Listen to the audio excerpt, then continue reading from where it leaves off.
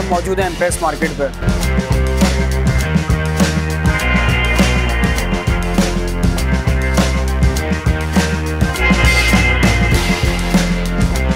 Sindh government की जानब से इस बिल्डिंग की कलरिंग का काम जो है वो स्टार्ट लिया गया था।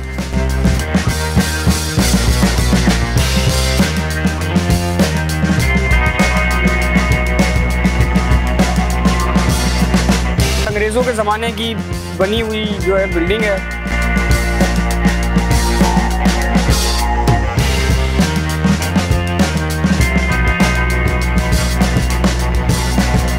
तो ये जगह जो आप अभी पे पार्क नुमा जगह जो आपको नज़र आ रही है, इस सब जगह पे जो है इंक्रोचमेंट थी। इस पर पथारे मुख्तलिफ़ किस्म के पथारे लगे हुए थे ठिए लगे हुए थे और ये सब इंक्रोचमेंट यहाँ पे मौजूद थी।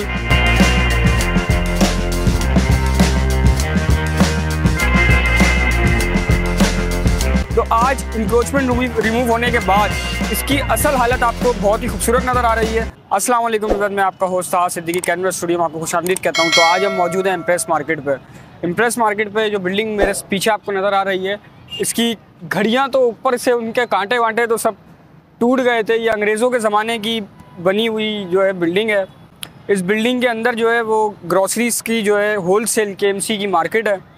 इस पर होल सेल मार्केट है ग्रॉसरीज वगैरह मिलती है। फिर इसके पीछे ही जो है, वो गोश्त मार्केट भी है, जहाँ पे गाय और बकरे के पाए और दीगर चीज़ें जो है, वो अशिया, खुरदनोश की चीज़ें जो है, वो दस्तियाब होती हैं होल सेल रेट पर सिंध गवर्नमेंट की जानब से इस बिल्डिंग की कलरिंग का काम जो है, वो स्टार्ट लिया गया था।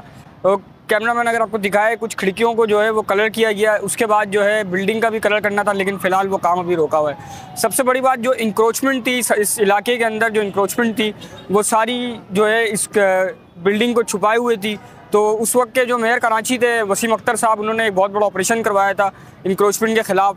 तो ये जगह जो आप अभी पे एक पार्क नुमा जगह जो आपको नज़र आ रही है, इस सब जगह पे जो है इंक्रोचमेंट थी, इस पर पथारे मुख्तलिफ़ किस्म के पथारे लगे हुए थे ठिए लगे हुए थे और ये सब इंक्रोचमेंट यहाँ पे मौजूद थी।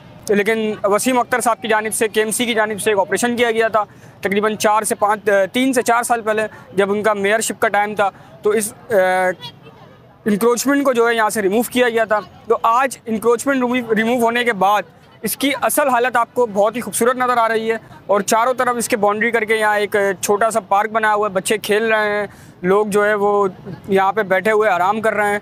जबकि इंक्रोचमेंट जो होती है, उसने शहर का बड़ा बुरा हाल किया हुआ होता है। तो इंक्रोचमेंट को ख़त्म करने के बाद इस जगह की जो वैल्यू थी, इस जगह की जो खूबसूरती थी, उसको बहाल किया जा रहा है। और अब सिंध गवर्नमेंट की जानब से इस बिल्डिंग पे जो है वो कलरिंग का काम शुरू हो गया।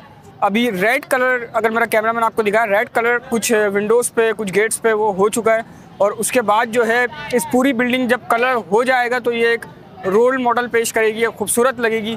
और वो जो घड़ियाँ आपको नज़र आ रही हैं, एक, दो, तीन, चार घड़ियाँ हैं ये।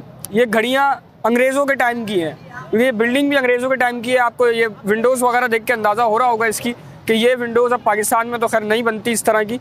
तो ये सब अंग्रेज़ों का टाइम का बना हुआ है।